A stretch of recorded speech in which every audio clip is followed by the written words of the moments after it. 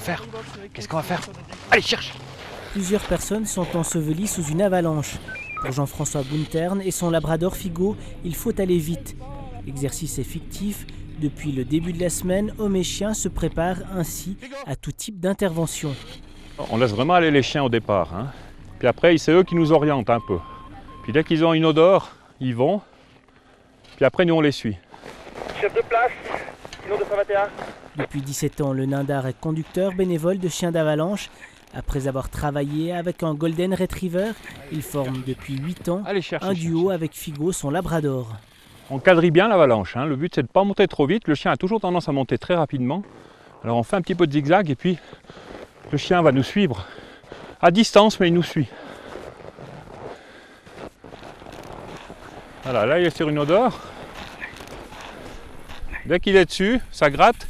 Ça veut dire que le chien marque. Quand le chien marque, on devrait être normalement à 100% sûr qu'il y a quelque chose dessous.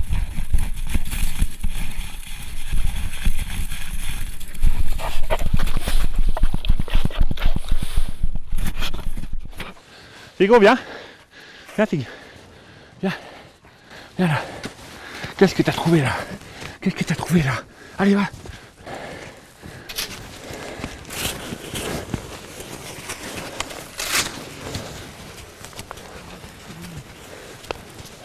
Hey, Figo, viens.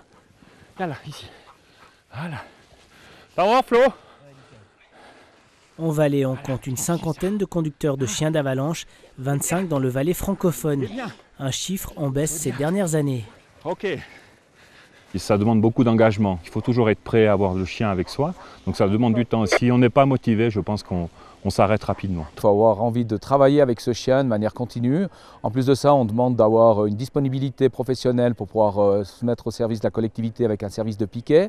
Et puis en plus, il faut être quand même un bon randonneur actif, ça veut dire qu'il faut quand même connaître euh, la partie montagne. Cet hiver, six nouveaux conducteurs de chiens, dont deux femmes, ont rejoint le groupement.